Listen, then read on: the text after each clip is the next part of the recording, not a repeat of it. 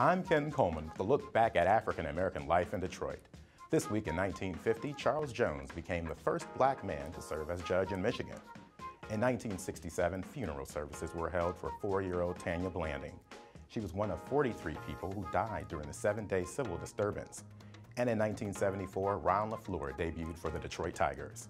These are significant events this week in Detroit's Black History, taken from the book On This Day, African American Life in Detroit.